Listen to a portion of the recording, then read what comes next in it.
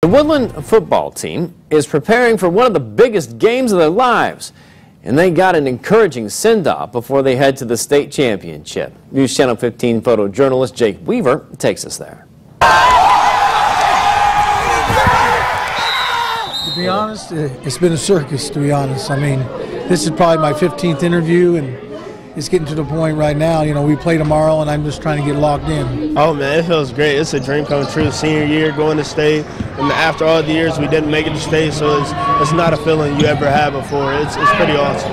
So our defense, we're gonna have to have another big game like we did last week against Eastbrook. So I think if our defense comes out, our offense will do what we've done all season. To be going so far and having a great support system is awesome. Everybody coming out and showing their uh, respect is, is pretty awesome.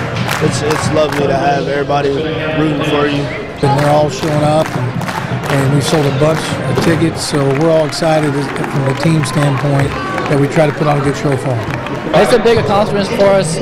We've finally gotten to the state game, which has been our goal for the past several years and we just want to take it one step farther and go down there. We just want to play our hearts out. We know for a senior class, it's our last game of the season no matter what, so we know whatever we do, we have to leave everything out on the field.